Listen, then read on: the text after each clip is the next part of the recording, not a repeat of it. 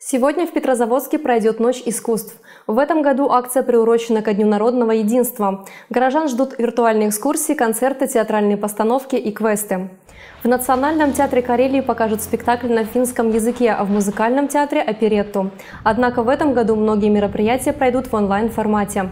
Большую программу подготовили Театр кукол и музеи Карелии, Национальный музей-заповедник Кижи, Музей изобразительных искусств. В прошлом году посетителями мероприятий и акции стали 10 тысяч человек. Ночь искусств этого года во многом экспериментальная, но организаторы надеются, что она вызовет не меньший интерес у любителей искусства.